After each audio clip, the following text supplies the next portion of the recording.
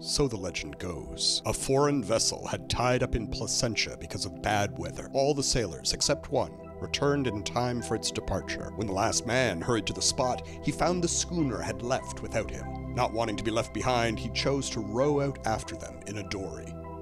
None of them were seen again. Since then, a ghost boat has been seen in Davis Cove, while the sounds of a phantom dory being pulled up over the rocks have been reported from Davis Cove Beach.